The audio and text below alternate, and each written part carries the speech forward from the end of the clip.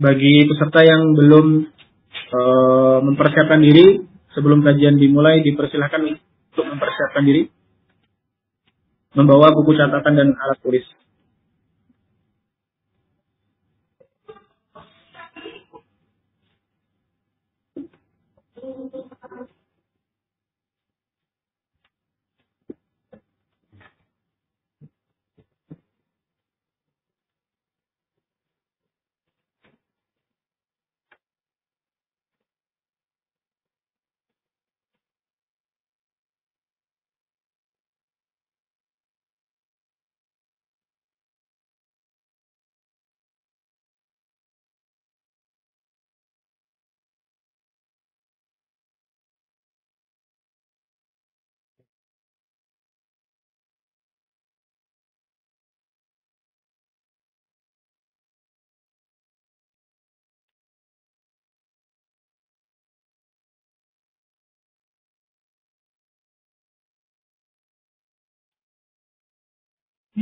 Mohon untuk yang masih menyalakan video silahkan dimatikan atau yang menyalakan uh, audio juga silahkan dimatikan terlebih dahulu.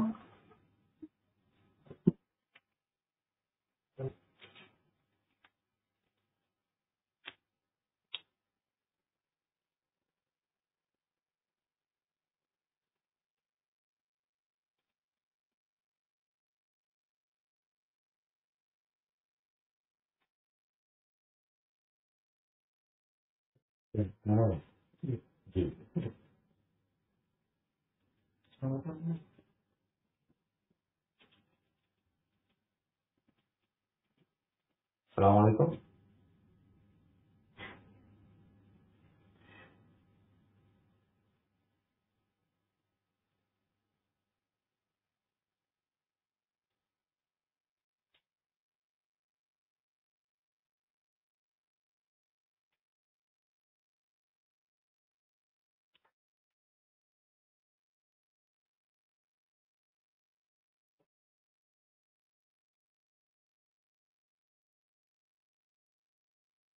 Assalamualaikum.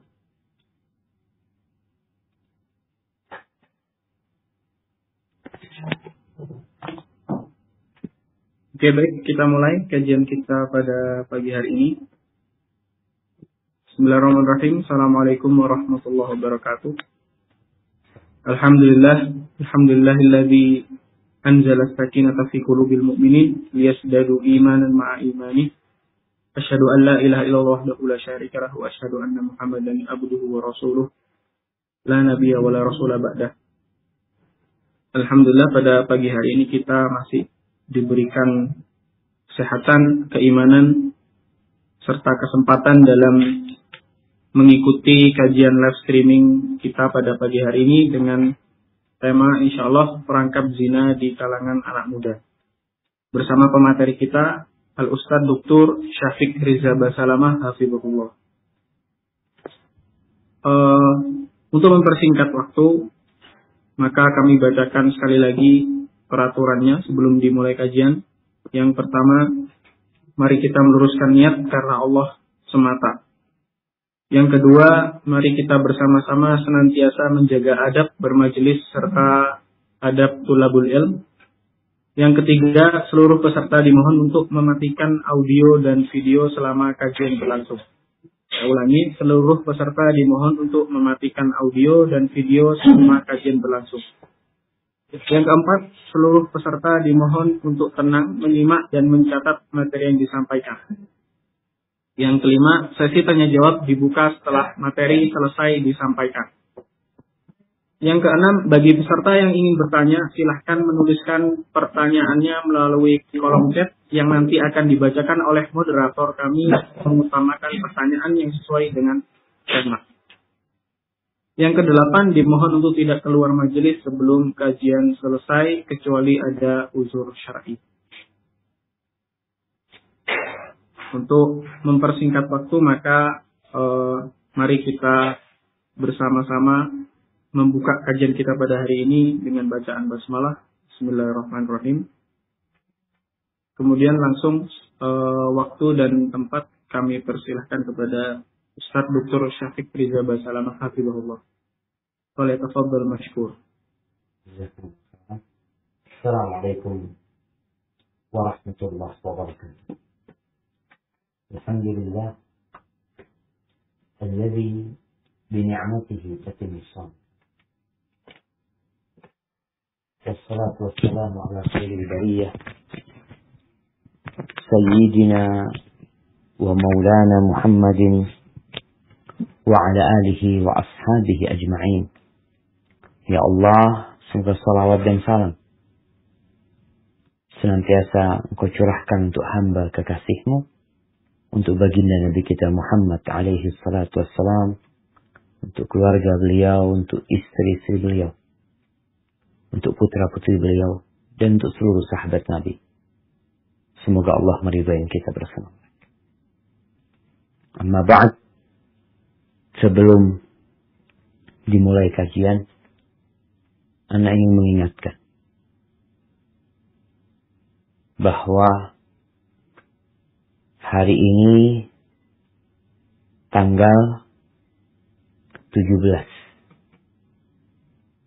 Jumadal Ula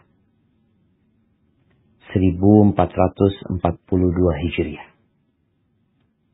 Karena Anda menyayangkan sekali di flyer kajian yang disebarkan atau yang dibikin di situ tidak ditulis kalender Hijriah. Padahal kalau melihat yang menyelenggarakan kajian, Masya Allah, mereka adalah manhaj salaf. Tapi tanggalnya cuma tanggal 1 Januari 2021. Ya mungkin dianggap remeh. Nggak remeh coba. Para sahabat radhiyallahu taala anhum mereka duduk bermusyawarah untuk menetapkan kalender umat Islam. Padahal sudah ada kalender yang sebelumnya. Kalaupun memang kita merasa kebanyakan orang tidak mengerti tentang kalender Hijriah. Bukan berarti kita melakukan pembodohan kepada umat. Akhirnya kita nggak pernah mengajarkan kepada mereka kalender kita sendiri. Letakkan di atas kalender Hijriah, lalu di bawah kalender Masehi. Anda rasa itu untuk lebih menampakkan bahwa kita benar-benar mengikuti manhaj mengikuti jalannya para sahabat Nabi. Tapi di sisi yang lainnya Nabi Alaihissalam mengatakan kalian akan mengikuti jalannya orang-orang Yahudi dan Nasrani. Sepertinya kebanyakan kita sudah seperti itu. Semoga Allah menyelamatkan kita agar tetap berada di jalannya Rasul SAW dan jalannya para sahabatnya. Jamaah rahmatullah bicara perangkap zina di kalangan anak muda. Sebenarnya yang berzina itu bukan hanya anak muda. Yang tua pun juga berzina. Apalagi di masa seperti sekarang. Segala sarana, segala fasilitas yang mengantarkan kepada perzinaan itu dengan mudahnya. Berapa banyak aplikasi yang engkau bisa cari pelacur di sekitar rumahmu aplikasi masuk ke sana, Anda nggak pernah masuk ya. Anda dikasih tahu teman, ketahuan bu, di sini, di sini, di sini. Di zaman dulu, orang itu malu mau bertanya. Ketika dia punya niat berzina dengan pelacur, na'udzubillah min dalik, dia tuh cari informasi itu sulit. Tapi kalau sekarang tinggal buka itu aplikasi. Di kota Jember, di sini di kecamatan Sumbersari. Nama kelurahannya apa? Subhanallah. Pelacur-pelacur itu menjajakan dirinya. Dia. Jadi perangkap zina di masa sekarang ini memang semakin menakutkan. Hebatullah. Pernah melihat ayam jantan mengawini ayam betina di depan rumah. atau di jalanan. Ya, rasa itu pemandangan yang biasa. Atau kambing jantan mengawini kambing betina. Mungkin itu pemandangan yang jarang kita lihat kecuali peternak kambing. Namun di masa Idul Adha biasanya kita sering melihat seperti itu. Kucing, mungkin kucing banyak. Kita melihat kucing jantan mendekati kucing betina, biasanya teriak-teriak mereka. Membangunkan yang tidur. Meresahkan yang mau tidur. Tapi itulah kucing. Dan mereka tidak perlu bertobat. Tidak perlu minta maaf kepada tetangga-tetangga ya karena udah ganggu tidur mereka. Mereka tidak perlu menyesal, nggak perlu menyesal. Karena mereka binatang. Mereka itu binatang. Nggak punya aturan mereka. Kapan nafsunya dan birahinya meningkat, ya dia berzina. Berganti-ganti pasangan, nah. Kenapa? Karena binatang. Namun kalau manusia yang diberi hati nurani. Diberi akal yang sehat. Diberi segala fasilitas. Diberi petunjuk juga. Dikasih tahu mana yang boleh dan mana yang tidak boleh. Ternyata dia merekam perzinaan.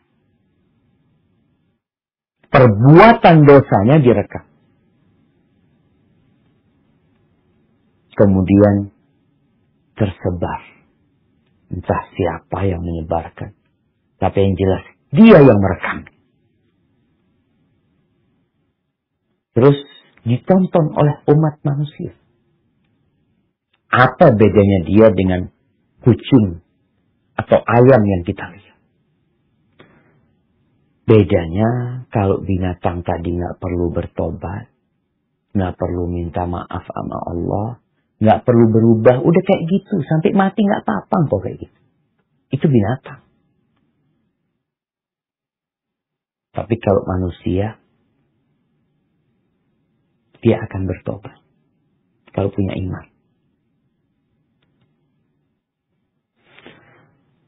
Namun tidak sedikit manusia yang sudah seperti binatang. Sebenarnya dari dulu sudah ada manusia-manusia binatang itu udah yang menyembah berhala, batu disembah, pohon disembah, Tuhan dikatakan punya anak. Apa kata Allah di surat Al-Furqan ayat 44? Allah berfirman. Silahkan dibaca.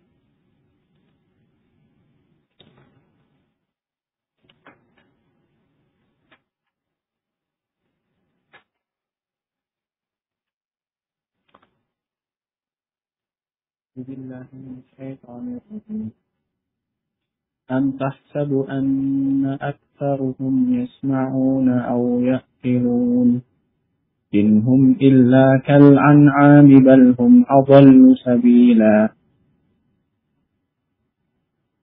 Atau apakah engkau mengira bahwa kebanyakan mereka itu mendengar atau memahami?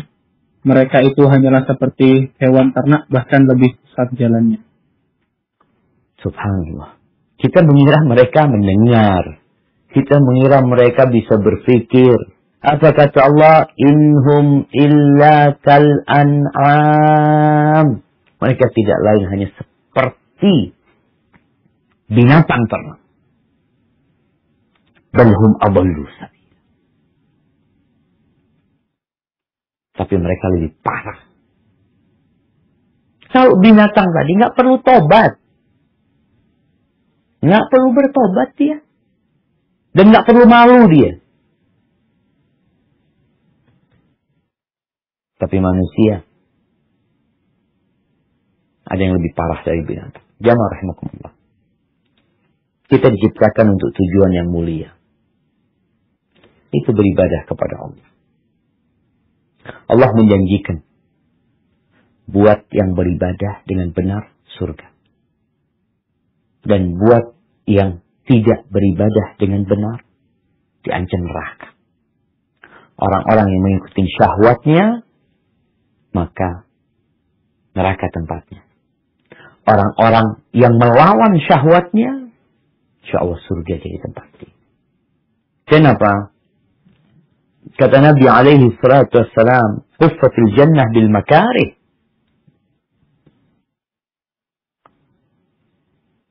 Surga itu, jalan menuju surga itu dikelilingi dengan perkara-perkara yang dibenci oleh jin. Sedangkan neraka hufat bisyahwat. Neraka itu dikelilingi dengan syahwat. Jadi orang masuk neraka itu nggak perlu disuruh. Dia jalan ke neraka. Nggak perlu. Dia itu dimotivasi untuk masuk neraka. Dia berjalan ke sana. Karena memang ada syahwat dia. Kenapa mereka berzina membayar 50 juta? membayar 80 juta. Bayar dia. Untuk masuk neraka itu bayar. Mau dia. Karena ada syahwat dia. Tapi berbicara untuk sodakoh bangun masjid, ya sodakoh sih. Zina dia bayar 80 juta, sodakoh dia bayar 1 juta. Dan merasa banyak dia bersodakoh. Karena memang beda jalan. Ahibati bicara rangkap perangkat zina di zaman sekarang ini ya. Ya kita nggak bisa pungkirin. Lelaki dan wanita ini memiliki ketertarikan.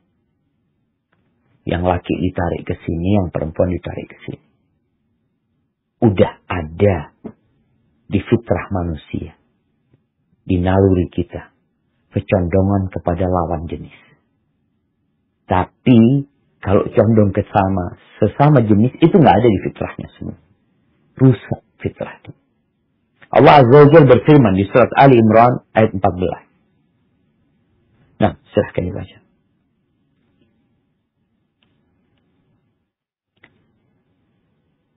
زين للناس حب الشهوات من النساء والبنين والقصير المقنطرة والقناطير المقنطرة من الذهب والفضة والخيل والخيل المسومة والأنعام والحرث. ذلك متاع الحياة الدنيا. ولله عنده حسن المآب Dijadikan tanpa indah dalam pandangan manusia cinta terhadap nafsu, berupa wanita-wanita anak-anak, harta benda yang bertumpuk dalam bentuk emas dan perak, kuda pilihan, hewan ternak, dan sawah ladang. Itulah kesenangan hidup di dunia dan di sisi Allah lah tempat kembali yang baik. Barakallahu fikum. Kita bisa melihat dalam ayat ini di antara banyak nafsu syahwat yang pertama disebutkan adalah wanita. Karena Nabi SAW mengatakan, Ma taraktu ba'di fitnatan hiya adar ala rijal minan nisa. Muttafaq. Tidaklah aku meninggalkan setelahku sebuah fitnah yang lebih membahayakan buat kaum laki-laki daripada wanita.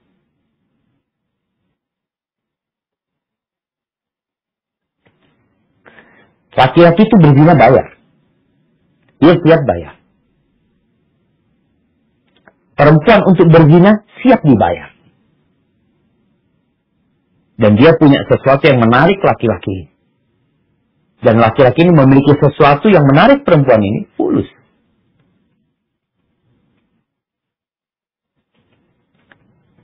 Banyak orang yang tidak sadar dengan tujuan diciptakannya manusia. Sehingga mereka malah ikut-ikutan menjadi seperti binatang. Kata Nabi SAW, ittaqud dunya wa taqun nisa. Takutlah kalian kepada dunia. Dan takutlah kepada wanita. Jaga antara engkau dengan wanita. Bikin pagar yang membatasimu dengan para wanita. Fa'inna awwala fitnati bani Israel. Fitnah pertama Bani Israel yang membuat mereka rusak. Itu wanita. Rahu Muslim. Dan semua agama sepakat atas haramnya perzinaan. Nggak ada agama yang membolehkan zina kecuali agama yang dibuat oleh syahwat manusia. Jamaah rahmatullah. Ya, kalau bicara bahayanya perzinaan ini,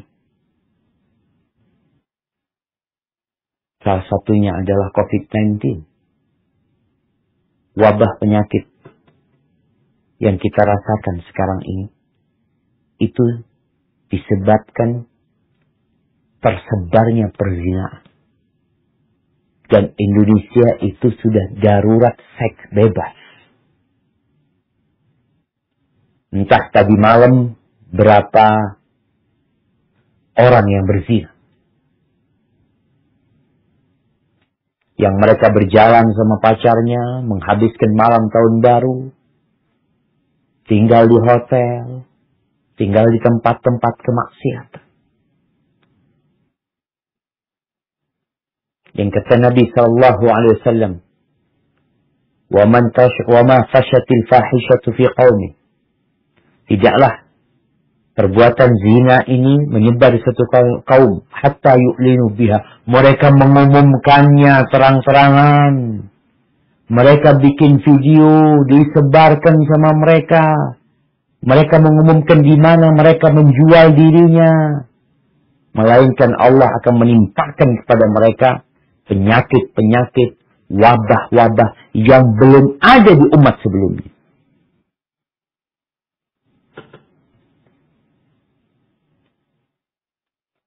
Merusak masyarakat, merusak masa, menurunkan azab, menyengsarakan hidup orang tua dan anak. Jamaah rahmatullah.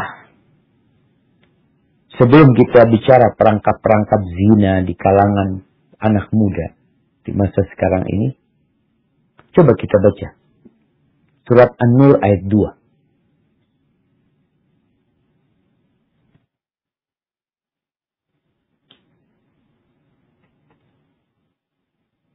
الزانية والزاني فاجلدوا كل واحد منهما جلدة ولا تأخذكم بهما رأفة في دين الله إن كنتم تؤمنون بالله إن كنتم تؤمنون بالله واليوم الآخر وليشهد عذابهما طائفة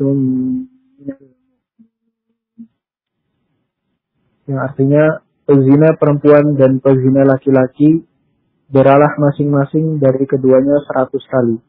Dan janganlah rasa belas kasihan kepada keduanya mencegah kamu untuk menjalankan agama atau hukum Allah. Jika kamu beriman kepada Allah dan hari kemudian. Dan hendaklah pelaksanaan hukuman mereka disaksikan oleh sebagian orang-orang yang beriman. Masya Allah. Itu azab mereka buat pemuda-pemudi yang berzina yang belum nikah. Kalau dia pernah nikah, bukan didera seratus kali. Dirajam sampai mati. Dilempar batu sampai mati. Mungkin sebagian hukum itu nggak ada yang tidak ditegakkan. Nah, akan ada yang lebih pedih nanti di akhirat menanti. Di mana Nabi Alaihissalam menceritakan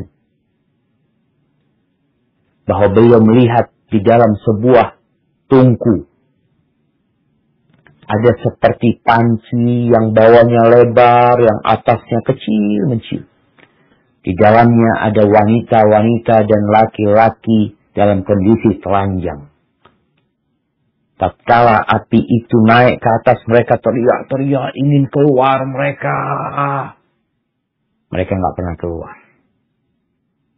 Ketika Nabi bertanya alaihi salatu wassalam, siapa mereka? Para pezina. Di alam barzakh diazab seperti itu. Sampai nanti kiamat. Na'udzubillah min dzalik. Kelezatan berzina ini berapa menit? Sedangkan azabnya bertahun-tahun, bahkan ada yang selama-lamanya di azab. Oleh karena itu, Islam ini menutup segala pintu, segala perangkat yang mengantarkan ke itu ditutup. Maka kalau bicara zina, Allah mengatakan wala taqrabu zina. Jangan mendekati zina. Yang namanya perangkap itu jangan didekati. Yang kita kadang-kadang melihat orang pasang perangkap. Di perangkap itu biasanya ada makanan. Perangkap tikus. Kalau dia, kalau tikus ini mau makan makanan yang dalam perangkap, dia akan masuk. Tapi dia tahu dia lapar. Tapi dia tahan diri. Enggak, anak tahan diri. Anak cari yang lainnya. Daripada cari itu, anak cari yang halal. Maka insya Allah tikus ini selamat dari perangkap. Tapi karena tikus ini nggak berakal, jadi dia itu mengikuti syahwatnya. Dia jalan aja. Dia cium aroma di mana ada makanan dia ikuti. Tahu-tahu masuk perangkap. Begitu pula dengan perzinaan. Bedanya manusia dikasih akal. Ini yang kita akan bicarakan agar engkau faham. Jangan mendekati perzinaan. Ada perangkap-perangkap yang nanti engkau masuk ke sana. Maka kenapa dalam Islam itu dianjurkan segera menikah? Ini termasuk perangkap masa sekarang ini dalam perzinaan menunda-nunda pernikahan.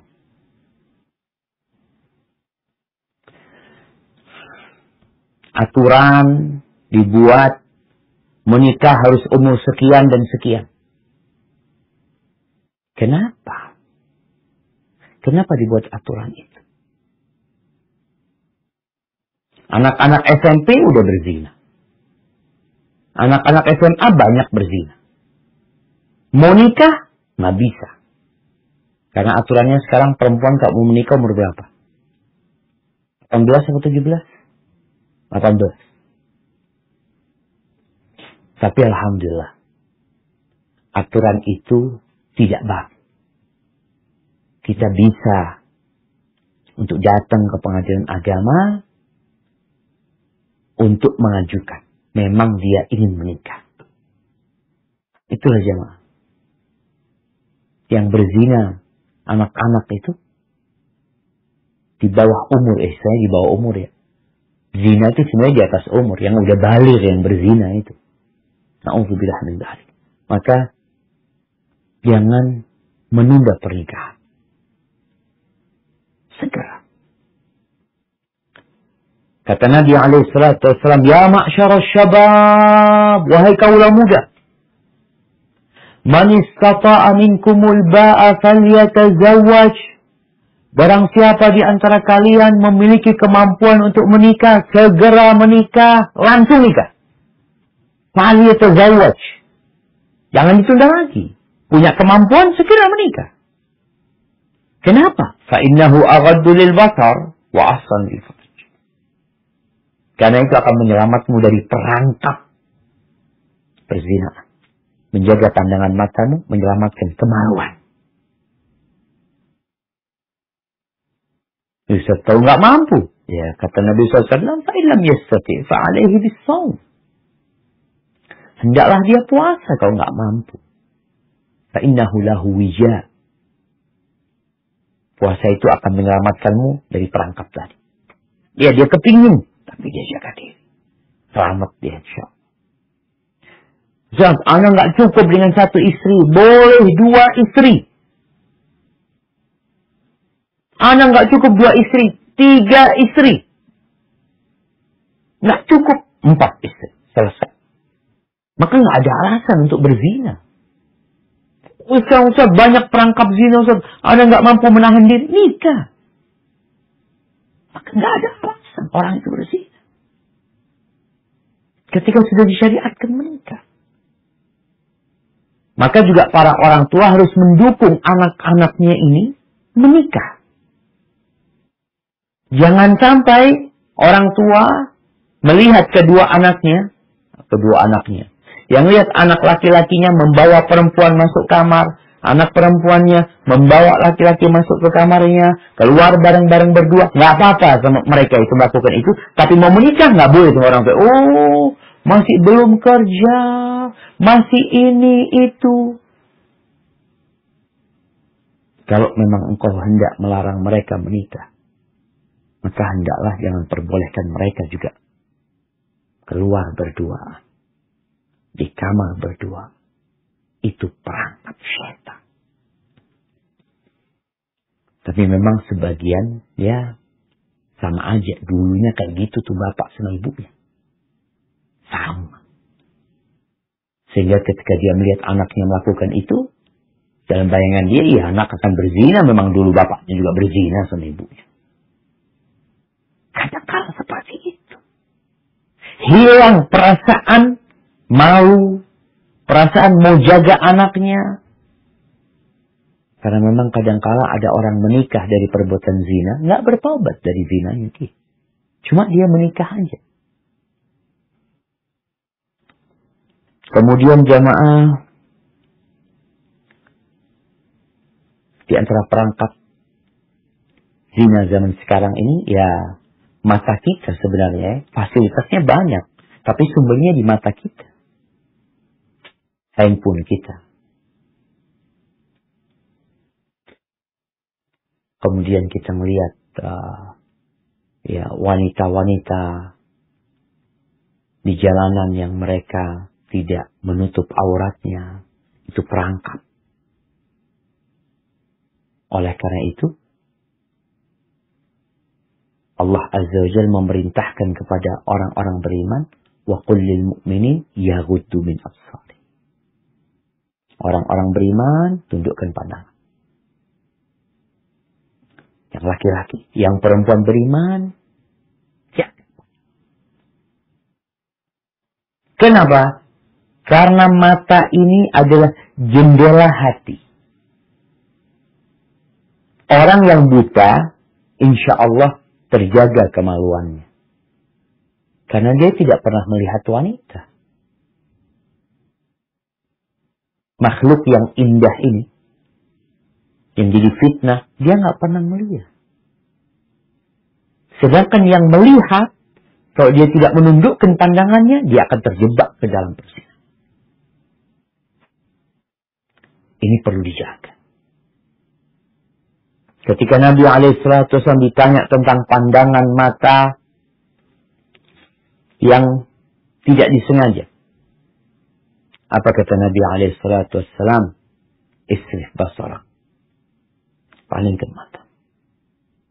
Kita kadang-kadang di handphone kita. Na'udzubillah Ini perangkatnya iblis. Kita buka Facebook mungkin. Buka IG, buka apa.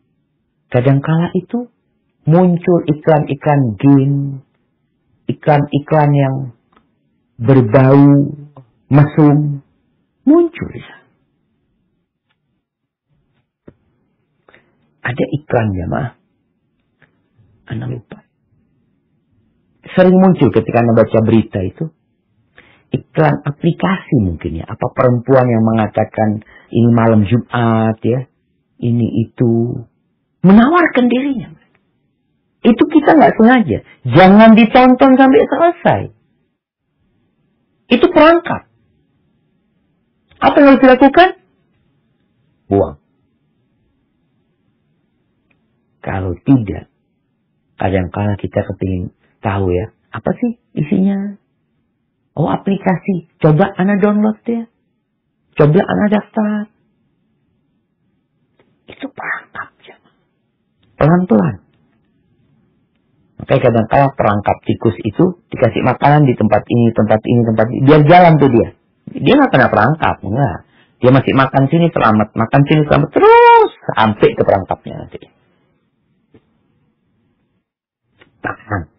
Isrif basar. Jangan diikuti. Kalau tidak, ya, akan Mata itu berzina, kata Nabi SAW. Telinga berzina. Tangan berzina. Kaki berzina. Dan nanti hati pun berzina. Perzinaan semua ini nanti outputnya itu di kemaluan. Dia lakukan tidak. Tapi dia sudah masuk ke dalam perangkap zina tadi. Tinggal dia melakukan zina apa tidak. Na'udzubillah. Kemudian di antara perangkat zina di masa sekarang ini.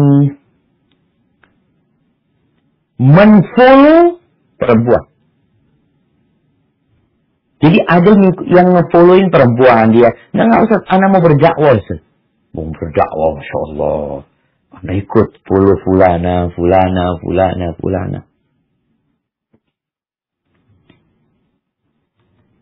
Ketika antum memfollow, maka antum akan melihat dia di sana. Bagaimana dia? Antum bisa chat sama dia. Bisa ngobrol, oh enggak, bab ini bab dakwah.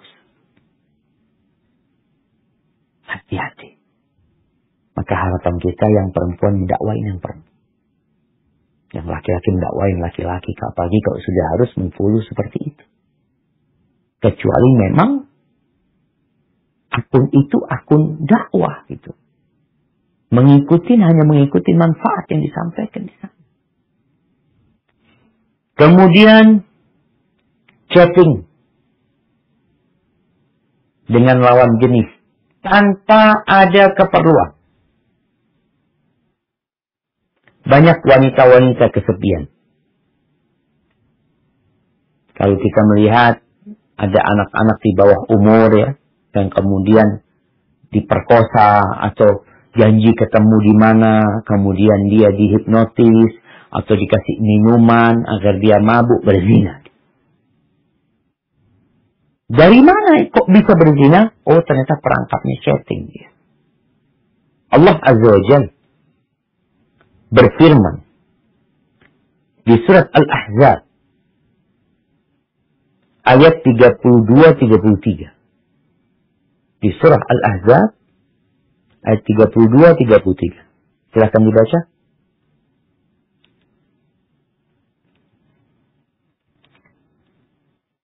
يا نساء النبي لستن كأحد من النساء إن اتق إن اتق إن اتقيتن فلا تخضعن بالقول فيطمع الذي فيطمع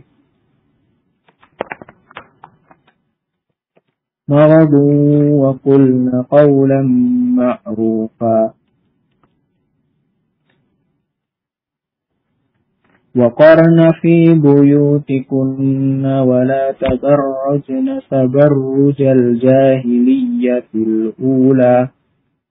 وأقمنا الصلاة وآتينا الزكاة. وآتينا. وأقمنا الصلاة وآتينا الزكاة وأطعنا الله ورسوله. إنما يريد الله ليذهب عنكم الرجز أهل البيت. ليذهب عنكم الرجس أهل البيت ويطهركم تطهيرا Artinya, wahai istri-istri Nabi, kamu tidak seperti perempuan-perempuan yang lain. Jika kamu bertakwa, maka janganlah kamu tunduk atau melemah lembutkan suara dalam berbicara sehingga bangkit nafsu orang yang ada penyakit dalam hatinya. dan ucapkanlah perkataan yang baik. dan hendaklah kamu tetap di rumahmu dan janganlah kamu berhias dan bertingkah laku seperti orang-orang jahiliyah dahulu. Dan laksanakanlah sholat, tunaikanlah zakat, dan taatilah Allah dan Rasulnya. Sesungguhnya Allah bermaksud hendak menghilangkan dosa dari kamu, wahai ahlul bait, dan membersihkan kamu sebersih-bersih. Barakallahu fiik. Ini istri Nabi. Bayangin ya, bagaimana Allah mendidik istri-istri. Mereka nggak sama. Mereka wanita-wanita yang terjaga.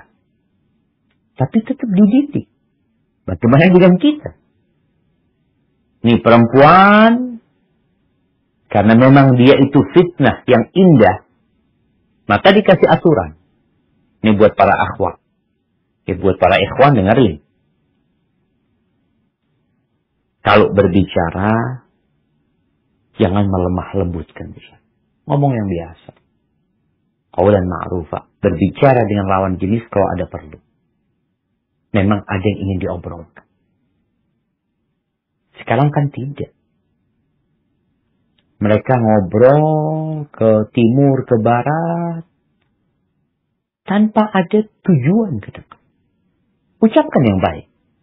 Allah perintahkan wa qulna qawlan ma'rufa ucapan yang baik yang berisi dakwah, menyampaikan kebajikan, mengajak kepada ketaatan, melarang dari kemungkaran.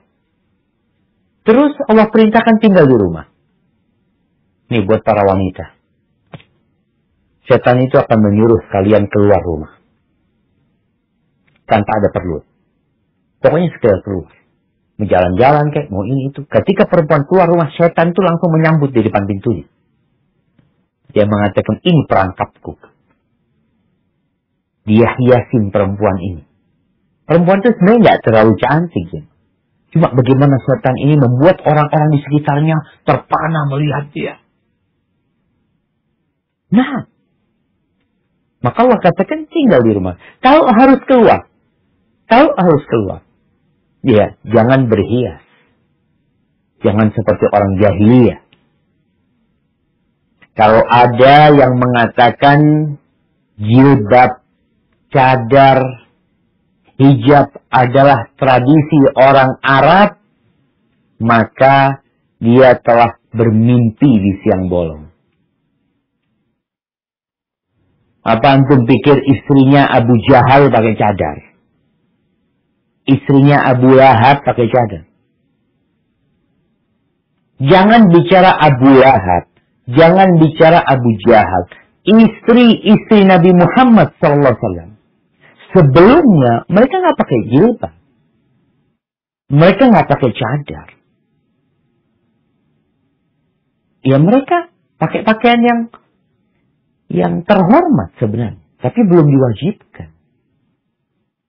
Makanya dilarang. Jangan seperti orang jahiliyah. Pakailah jilbabmu pakai kerudung. Jadi orang jahiliyah itu nggak pakai jilbab, jemaah. Orang Arab ya, kalau bicara itu tradisi orang Arab, orang Arab itu memang nggak pakai jilbab. Terus sekarang kok pada pakai jilbab? Karena mereka muslimah. Makanya kalau antum lihat orang Arab yang Nasrani, ada di Libanon sana banyak, bahkan setengah penduduknya Nasrani. Orang-orang Arab mereka. Dan mereka tidak pakai jilbab. Terus pakaian siapa jilbab ini? Pakaian muslimah. Pakaian orang beriman. Kemudian diperintahkan mendirikan sholat, ya, menunaikan zakat, ya, sampai akhir ayat yang baru saja kita baca. Intinya, bahwasanya ketika seorang perempuan berbicara dengan lisannya atau chat dengan lawan jenis, tolong yang tegas. Dulu. Ini perangkat zina di zaman dulu memang mungkin mengalami perubahan di zaman sekarang ya. Dulu anak ingat waktu kita mungkin di pondok ya. Orang tua anak itu langganan koran dulu. Di koran itu ada iklan-iklan biasanya. Di antara iklan-iklan itu ada telepon. Telepon sama perempuan. Jadi ada gambarnya perempuan-perempuan ya. Hotline sekian ya telepon ini. Nanti bayarnya itu tarifnya pakai pakai pulsa ya. Pakai menitan kayak gitu mereka. Ya sekedar ngobrol sama perempuan. Yang rayu ini itu. Sekarang jemaah yang seperti itu. Di bahasa yang sekarang ini apa? Kencang. Ya enggak, kita enggak berzina kok. Enggak, kita cuma ngobrol-ngobrol doang. Kita cuma ke restoran, makan berduaan. Itu perangkat kepada perzina. Dan sebenarnya udah berzina, tapi belum zina yang sesungguhnya. Masih mukaddimah menuju ke perzinaan. Maka ketika berbicara ada perlunya. Kemudian berduaan laki-laki sama perempuan ini ini perangkatnya setan jelas mengantarkan kepada perzinahan. Yang kata Nabi alaihi salatu wassalam la yakhluwanna rajulun bimra'atin illa wasyaitanu tidaklah seorang laki-laki berduaan dengan wanita melainkan setan yang ketiganya. Maka dilarang berkhalwat itu dilarang. Kecuali sudah menikah. Kecuali bersama mahramnya. Subhanallah. Tapi kebanyakan kita merasa itu bukan perangkat. Iya, dia punya pacar, nanti jalan, nanti ke warung, nanti ke restoran, ke hotel. Kemudian, jamaah rahimakumullah, berbaurnya laki-laki dengan wanita berbaurnya laki-laki dengan wanita. Sekarang kalau kita lihat ya, sekolah-sekolah. Laki perempuan kumpul. Mulai SD, SMP, SMA, kuliah. Bercampur baur mereka orang. Oh nggak apa-apa Pak Ustaz. Udah nggak nggak ada nafsu lagi. Kata siapa nggak ada nafsu? Coba dipelajari. Negara model Amerika. Yang kebanyakan penduduknya non-muslim.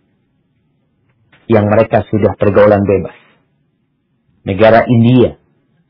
Yang banyak di antara mereka juga non-muslim. Entah berapa persen umat Islamnya hanya berapa persen di India. Itu termasuk negara-negara yang terbuka sebenarnya.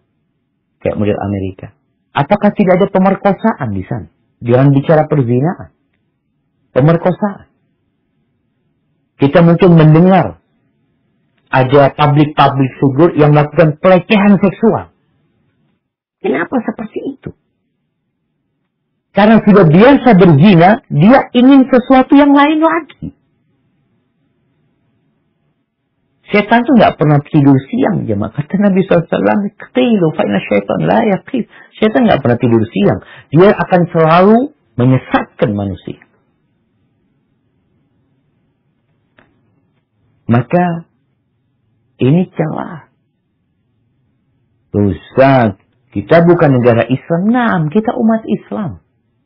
Mayoritas Muslim. Kenapa tidak dipisahkan laki sama perempuan sekolahnya? Oh, persamaan gender. Antum tahu Belanda. Belanda. Bukan orang Islam Belanda itu yang menjajah kita. Tahun 30 Masehi. Jadi 90 tahun yang lalu. Sebelum Indonesia merdeka. Itu Belanda sudah bikin sekolah-sekolah yang dipisahkan laki sama perempuan. Maju pikiran mereka. Kok kita malah mundur? Kenapa harus dipisahkan? Mereka punya sekolah Kanisius sana dilihat. Dan yang sebelum itu ada sekolah-sekolah lain yang buat perempuan namanya lain. Sampai sekarang antum cari. Antum masuk nanti Kanisius. Antum nanti masuk ada sekolah-sekolah khusus buat perempuan milik Katolik umum. Bukan sekolah agama ya. Jangan dia, oh itu mungkin pondoknya orang Nasrani. Bukan. Kanisius itu bukan sekolah agama Nasrani, tapi pemiliknya yang mendirikan orang-orang Katolik. Yang sekolah di sana, ya banyak orang selain Katolik. Mereka pisahkan khusus laki-laki. Kenapa nggak teriak-teriak tuh orang-orang yang mengatakan bias gender katanya ini itu enggak, cuma itu perang kata setan. Yang kita inginkan bagaimana negeri ini maju, bagaimana perempuan itu belajar dengan benar, bagaimana laki-laki belajar dengan benar. Tapi karena dikumpulin, maka perzinaan itu mulai SMP. Sudah terjadi. SD pun ada.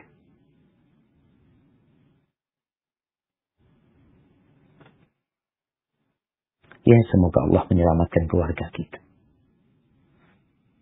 Ahibatifillah. Kemudian safarnya wanita tanpa mahram. Safar tanpa mahram itu berbahaya. Ada yang nungguin di sana untuk menggodain nih wanita. Di bis. Ini perjalanan safar ya. Nggak tahu dia duduk sama siapa. Ternyata duduk sama laki-laki. Diajak ngobrol ini itu macam-macam. Na'udzubillah min dalik. Kadang kala mengantarkan kepada perzinahan.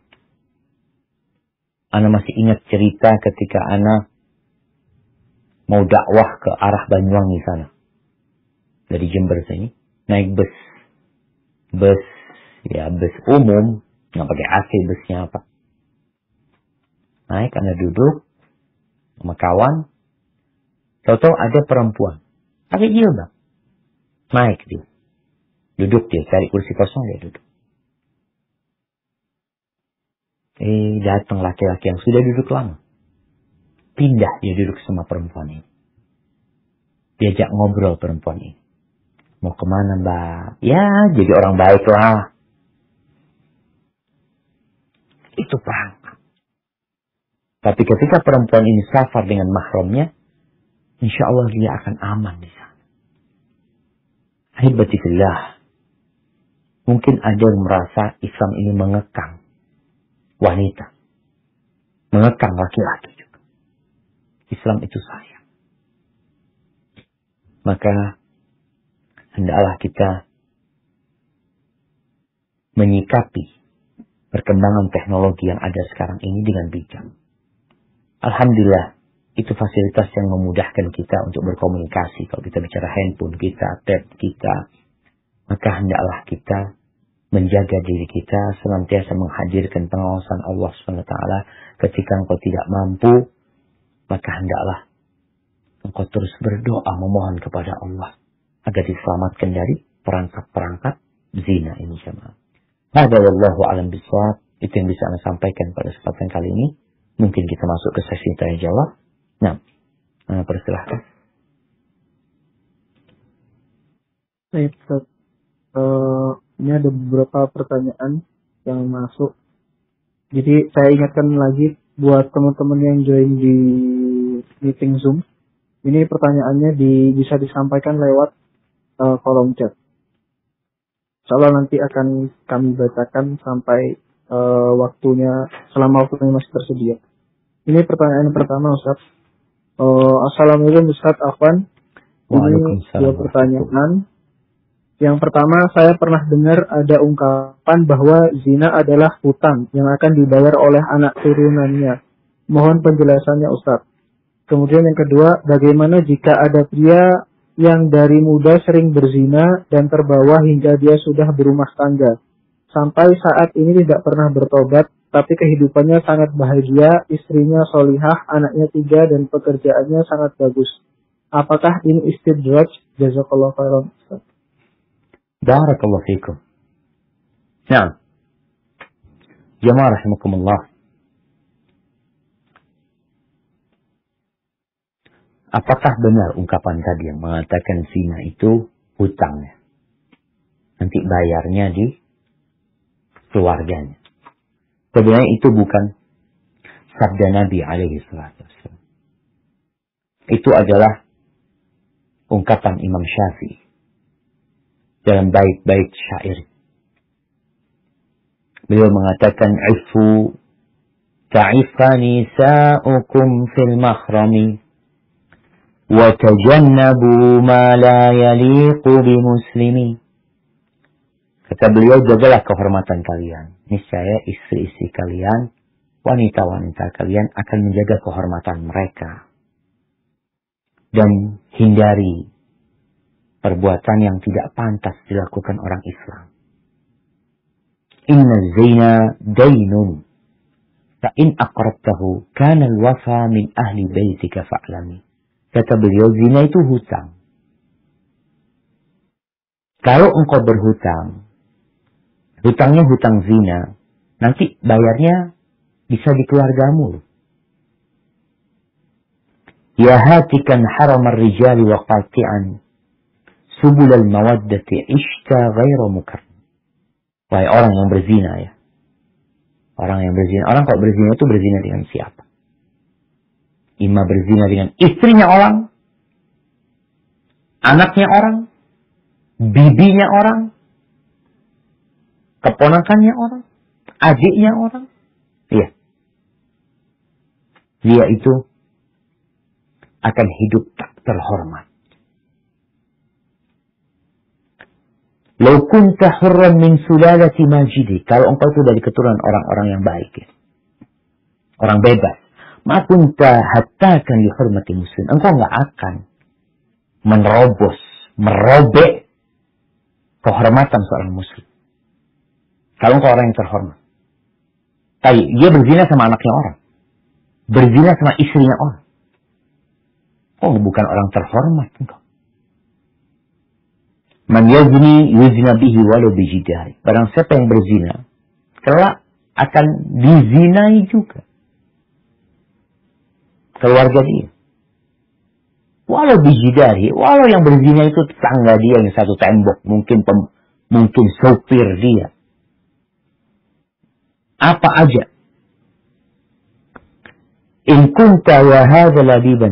Kalau engkau orang yang berakal sehat, fahamilah Bagaimana dosa zina ini? Man yazni fi qawmin bi alfi dirham. Barang siapa yang berzina di satu tempat dengan 2000 dirham dia bayar. Puluhan juta dia bayar. Yuzna fi ahli baitihi, baitihi bi dirham.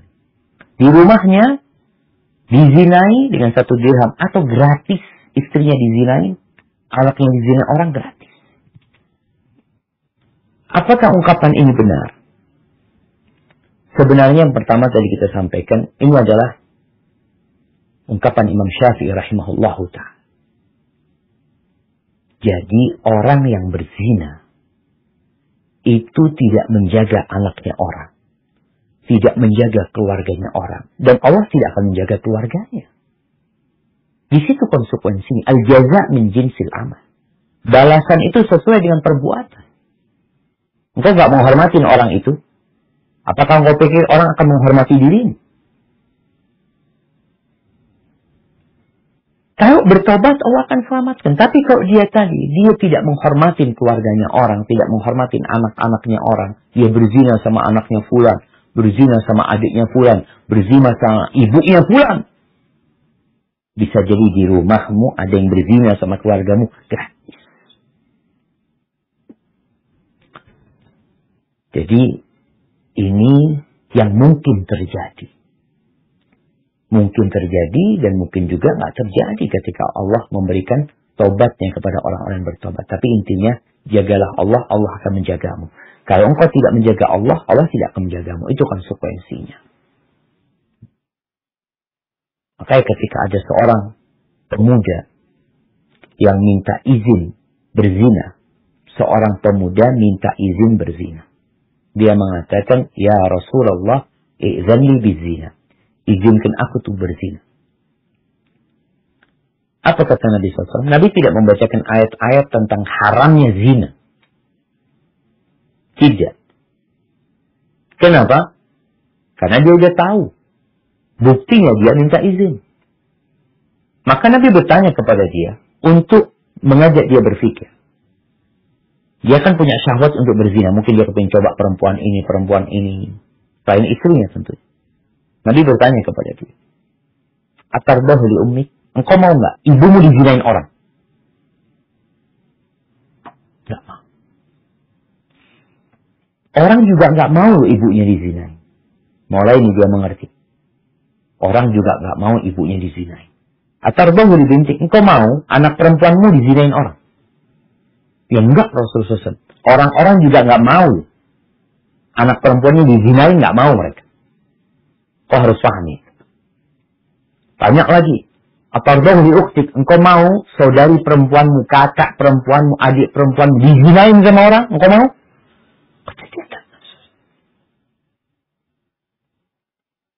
Orang-orang juga nggak mau saudara saudari saudarinya dizinain.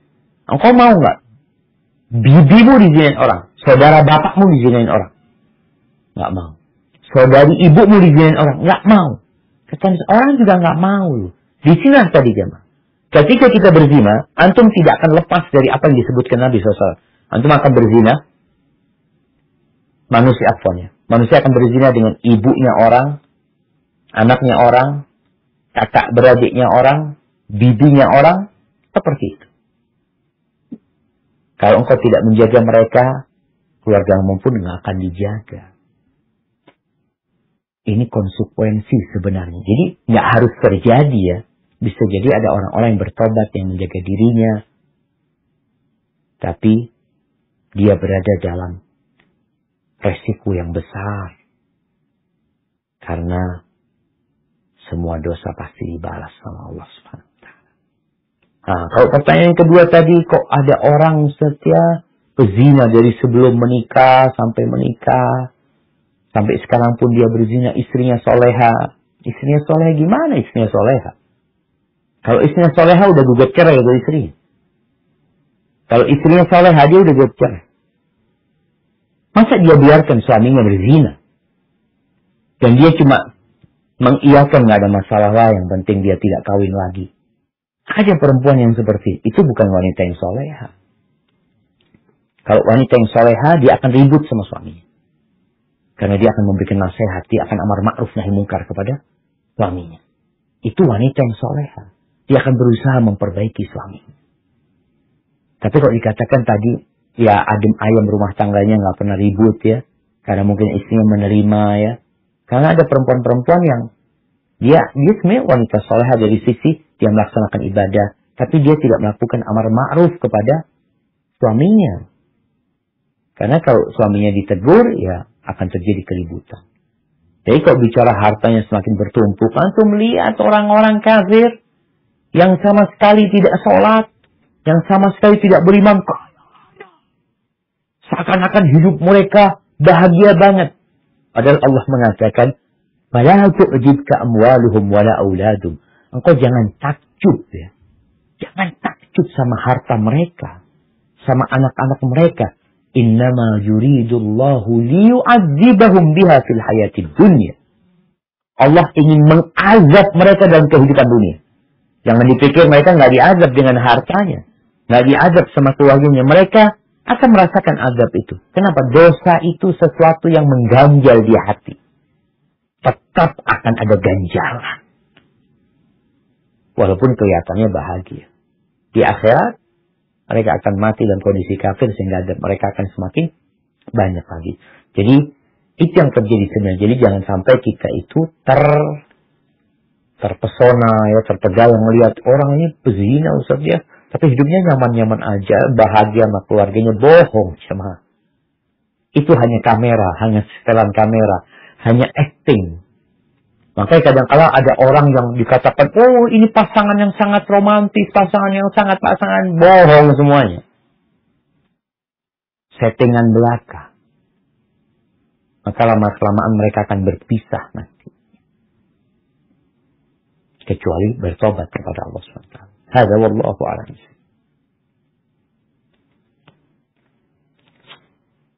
Pertanyaan berikutnya Ustaz. Ini akan Ustaz Sin bertanya bagaimana cara memberikan nasihat kepada Ibu Ana yang masih sering pergi bersama teman ikwannya. Terkadang safar juga Ustaz. Qadarullah ayah Ana sudah meninggal. Mohon pencerahan. Jazakallahu khairan. Barakallahu fikum. Iya nasihat buat antum, ibu antum suruh menikah sama ikhwan itu. Itu solusi. Sampaikan kepada ibu. Ibu. Demi menjaga ibu. Demi menjaga keluarga. Agar azab Allah tidak turun ya. Ibu kenapa nggak nikah aja sama dia? Nikah. Soalnya kalau tidak, ya tadi kita sampaikan. Safar seharusnya ada mahramnya. Tanpa mahram dia safar. Keluar sama ikhwan. Kadang-kala berduaan mungkin. Siapa yang ketiganya? Syaitan. Maka bagaimana anak sekarang menumbuhkan keimanan di diri ibunya, memotivasi ibu, kalau memang laki-laki itu laki-laki baik-baik, ibu-ibu menikah aja. Dan anak-anak harus mendukung. Karena kalau ada anak-anak enggak, kita enggak pengen ibu nikah lagi. Enggak ada urusan sama anak-anak. Jadilah anak-anak yang berbakti sama ibunya. Selamatkan ibu dari perangkap-perangkap zina. Dengan cara tadi. Wallah jamaah ini kalau dengar perangkapnya zina subhanallah.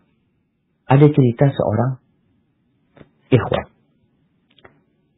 Dia ketemu anak di mana ya? Di kereta kalau nggak salah dia cerita. Dia itu tukang pasang CCTV. Dia kerja itu. Nah, dia punya istri. Dia ngurusin ngurusin surat-surat mobil. Akhirnya terjadilah skandal antara dia sama sama pengurus, sama oknum yang ada di tempat pengurusan surat-surat mobil itu si suami ini heran kata dia. Kok ada perubahan di diri istrinya. Karena dia tukang masang CCTV. Dia pasang CCTV di rumah. Dan betul. Itu terjadi. Awalnya cuma sekedar ngobrol santai ini itu macam-macam. Ngobrol ada perlunya aja, yang lainnya tidak. Kalau tadi sudah keluar bareng ibu ya, sama teman ikhwannya, Berbahaya gitu. Oh enggak, insya Allah bisa jaga diri. Ya Allah jemaah. Harapan kita, kita menjaga diri kita. Tapi ini perangkap. Maka tolong apa yang diarahkan oleh Allah dan Rasulnya ditaatin supaya selamat. Maka nasihat anak, coba antum dukung ibu antum untuk menikah. Kalau memang laki-laki itu laki-laki baik-baik. Hada wallahu a'lam.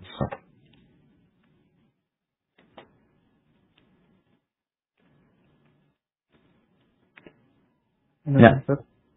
Uh, pertanyaannya berikutnya. Uh, Ustaz, bagaimana jika ada istri selingkuh kemudian ketahuan suaminya, tapi suami tidak menegur atau mengingatkan, malah membalas dengan selingkuh dan berzina dengan istri orang selama dua tahun.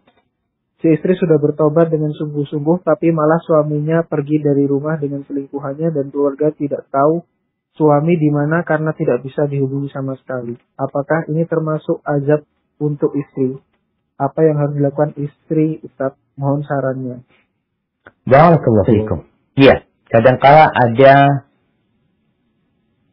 laki-laki yang mendapati istrinya berzina, dia berzina juga akhirnya, membalas zina dengan zina.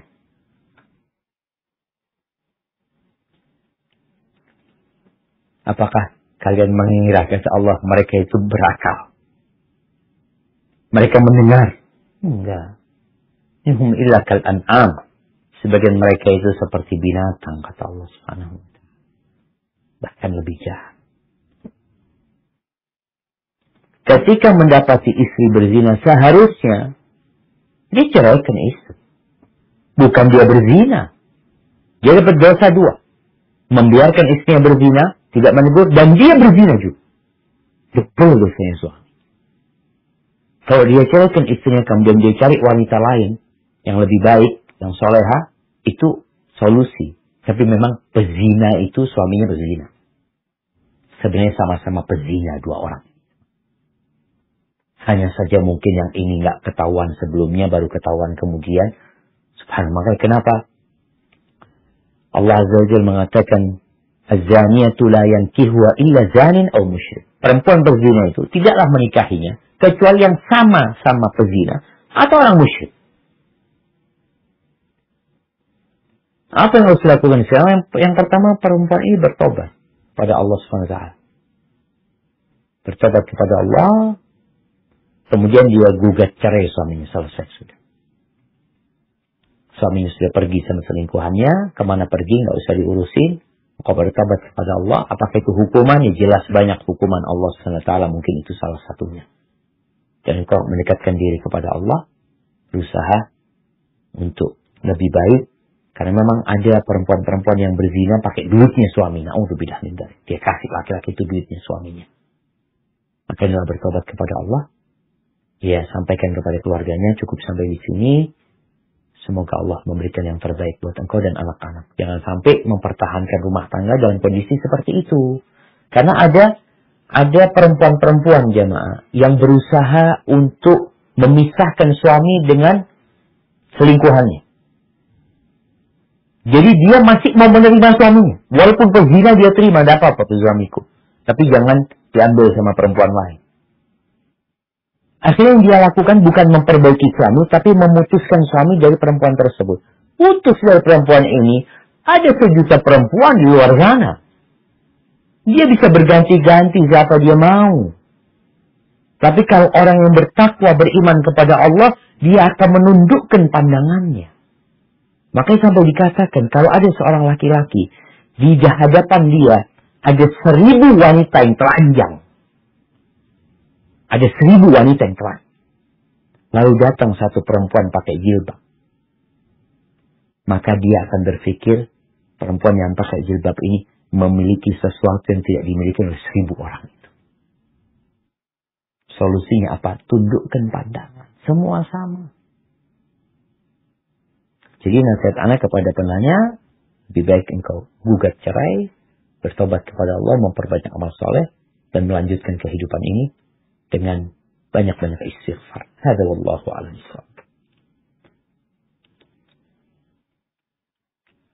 Uh, pertanyaan berikutnya Ustaz, ini tentang uh, proses ta'aruf.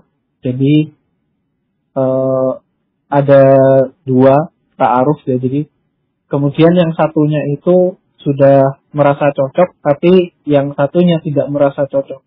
Sehingga ta'aruf tadi dibatalkan. Padahal yang merasa cocok tadi sudah sudah itu ya Pak, sudah positif, terus kemudian sudah serak gitu Ustaz. Tapi yang satunya membatalkan. Sehingga dia sering kepikiran, akhirnya jadi zina hati. Itu gimana Ustaz solusinya? Nah, solusinya memang ta'arufnya dibenerin. Kita tuh banyak ta'aruf yang tidak benar. Ta'aruf ngobrol sama tuh akhwat, ya cerita-cerita ini tuh sama tuh akhwat. Ta'aruf itu adalah bagaimana engkau mengenali fulan atau fulana yang engkau menginginkan dia. Atau dia melamarmu kalau dia perempuan. Enggak harus ngobrol. Bagaimana cari tahu tentang dia? Ya cari tahu lah. Kita umpamanya kalau bicara uh, yang namanya iPad nih. Ketika Anda mau beli iPad ini, Anda nggak harus pegang iPad ini. Anda tinggal cari iPad ini apa sih kelebihannya. Ditulis, oh ini kelebihannya. Oh iya bagus. Begitu pula pasangan hidup kita. Kita perlu informasi tentang dia. Oh dia mungkin punya informasi sendiri Informasi yang ditulis sama dia, CV dia tulis. Sehingga dia bohong. Begitu pula kalau kita bicara tadi iPad, bisa jadi uh, itu hanya iklan aja ya. Nah, kita cari tahu informasi lain dari yang mungkin yang pernah melihat ya, yang pernah mencoba, sehingga informasinya lebih akurat lagi. Digabungkan antara informasi dari si akhwat ini dengan informasi dari orang lain. Digabungkan informasi dari ikhwan ini dan informasi dari tetangganya, dari kawan-kawannya. Itu ta'aruf. Bukan engkau ketemu dia duduk bersama, nanti jalan ini, itu enggak. Jadi kemudian dalam proses ta'aruf ini, ketika memang antum udah cocok tuh sama dia. Kalau sekedar cocok dari satu sisi dan informasi, kemudian ternyata ditolak, jadi bukan bahasanya itu ditolak antum sama dia, ya sudah cari yang lainnya. Masalahnya sudah ya, sudah kadung jatuh cinta. Ini yang kadang kala berat. udah kadung jatuh cinta. Jadi kepikiran ini itu. Ahibati Bukankah seharusnya engkau yakin pilihan Allah yang terbaik? Kalau engkau sudah istikharah, itu akhwat juga oleh istikharah.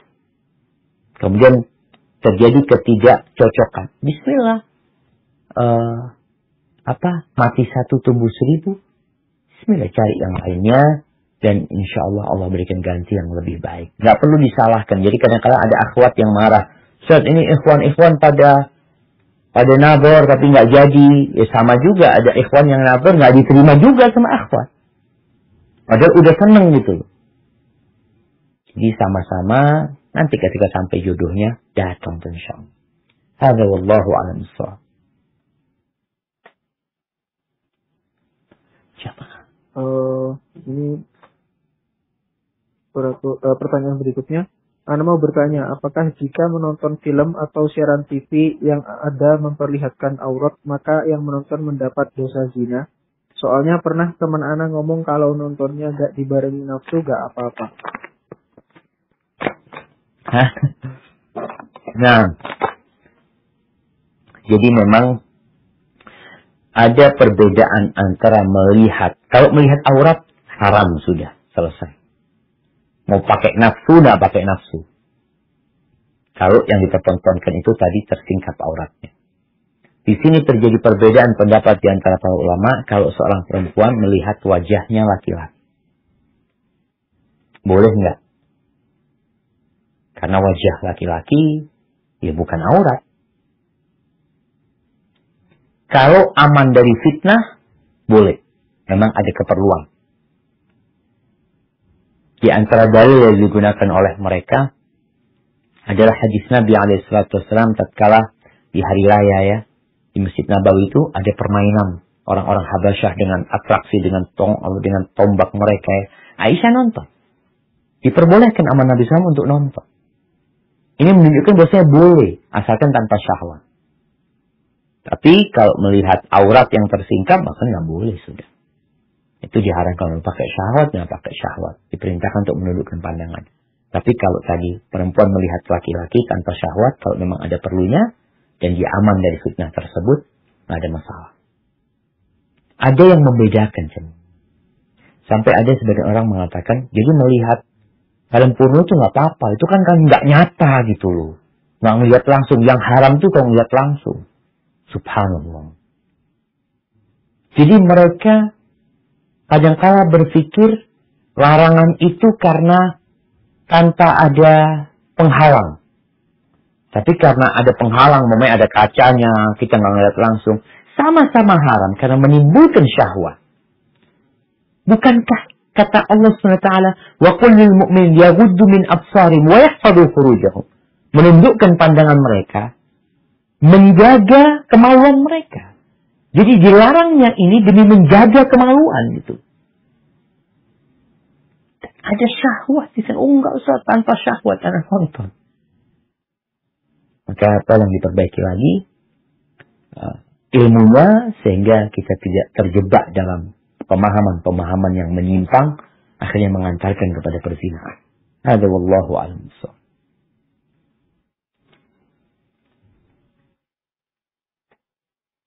Eh, berikutnya saat saya mau bertanya gimana menyikapi suami yang berselingkuh dan istri bilang pisah saat emosi. Disetujui oleh suami dan si suami itu pernah bilang sama selingkuhannya sudah ada rencana untuk bercerai. Tapi saya tidak mau berpisah karena anak. Makasih Ustaz. Barakallahu fikum. Barakallahu fikum. Nah, kalau bicara seorang istri menggugat cerai suaminya, lalu suami mengiyakan, maka akan sah hulu tersebut kalau ada pengembalian mahar. Ada pengembalian mahar. Tapi kalau suami merencanakan, belum menceraikan ini, ada gugat cerai dari istri, ini memang kalau suami tidak menyetujui, maka perlu diangkat ke pengadilan. Tapi kalau suami menyetujui, istri tinggal memberikan Uh, pengembalian mahar atau uang atau apa saja kepada suaminya dan dilihat sebenarnya gimana proses ini sudah terjadi.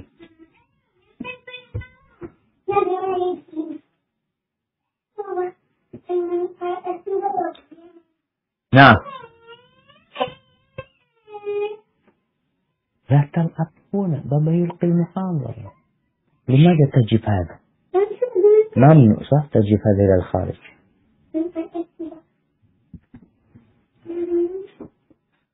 Terjemah. Gimana nggak mau pisah sama seorang pezina? Istilah oh, demi anak-anak. Kalau demi anak-anak mau berpisah. Kadangkala orang itu demi nafsunya. Kadangkala dia takut nanti gimana hidupku. Bagaimana hidup anak-anak. Ingat, anak-anak itu yang kasih rezeki bukan bapak. Yang kasih rezeki Allah Azza wa Yang kasih rezeki sama bapak, sama ibu, sama anak-anaknya itu Allah Azza wa Kalau suami masih bisa diperbaiki, maka silahkan diperbaiki. Tapi kalau tetap suami berzina seperti itu, dan engkau tidak mau menegur, tidak mau memperbaikinya, maka berpisah itu jadi solusi untuk kebaikan anak-anak. Jadi memang banyaknya mau rumah tangga ini yang dipertahankan katanya demi anak-anak. Kalau memang bisa diperbaiki ahlan usaha. Tapi kalau tidak, anak-anak itu akan lebih baik tidak melihat kedua orang tuanya berantem tiap hari daripada anak itu tumbuh besar melihat ibunya berantem terus sama bapaknya urusan selingkuhan tadi. Teriak-teriak ini itu, tapi tetap satu rumah. Besok ribut lagi, besok ribut lagi. Islam mensyariatkan perceraian karena ada baiknya, ada positifnya di perceraian. Untuk siapa? Untuk anak-anak. Maka kalau mau melanjutkan, melanjutkan yang dengan cara yang baik, ada perbaikan. Kalau mau berpisah, berpisah dengan cara yang baik. Tapi kalau suami tidak bertobat, nasihat anak, berpisahlah engkau. Nggak mau berpisah, ya sudah. Mau gimana engkau nggak mau berpisah? Tapi yang jelas engkau akan ditanya sama Allah Subhanahu Wa Taala. Kenapa engkau tidak berpisah dengan suami yang pesina? Hadza wallahu a'lam Ustaz.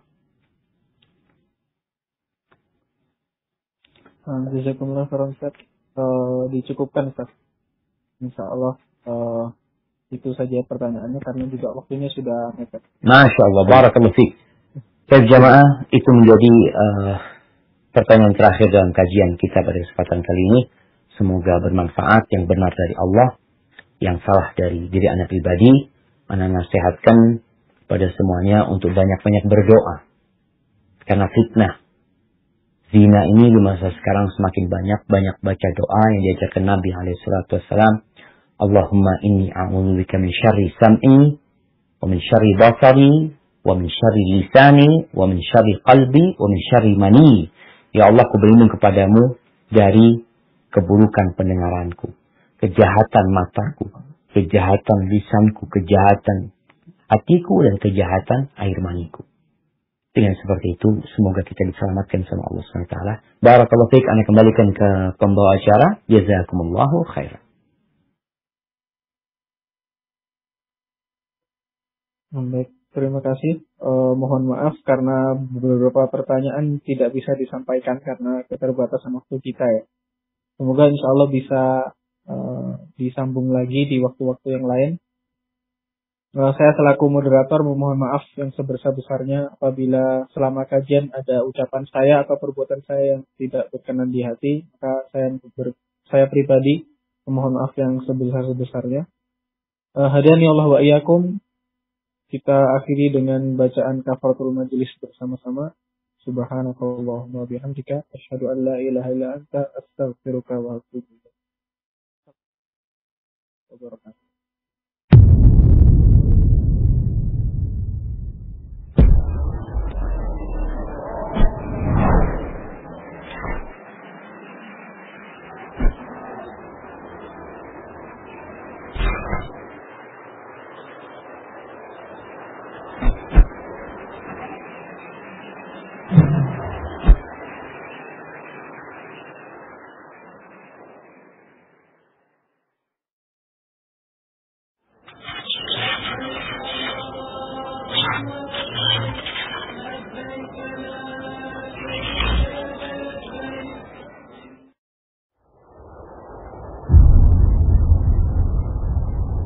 Tombol berikut untuk mendapatkan update ilmu yang insya Allah bermanfaat.